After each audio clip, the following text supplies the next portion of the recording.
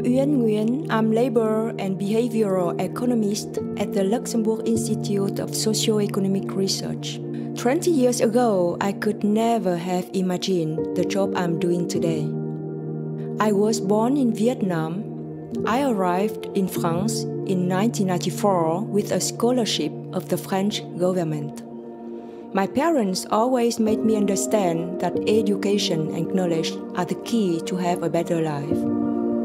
When I was a little girl, I dreamed to be a French teacher, then an architect, then a painter, but never a researcher.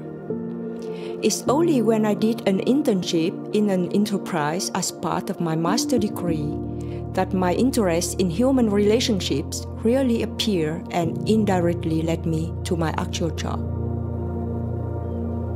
Indeed, my research focuses on interconnections in the world of work between firms, organizations, workers' behavior, actions of public authorities in the context of population aging, greening, and digitalization.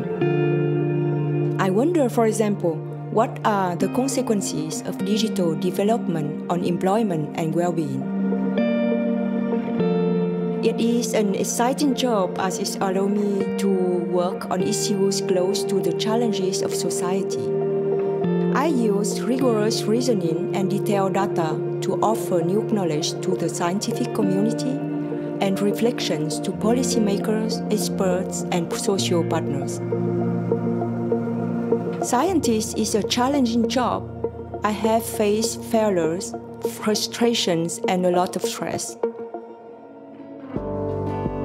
However, I'm lucky enough to work with great colleagues with whom I can share my thoughts and build exciting projects together.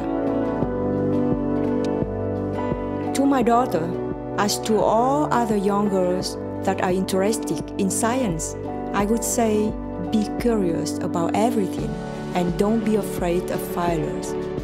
No one is born a scientist it is something you can become over time with hard work and resilience.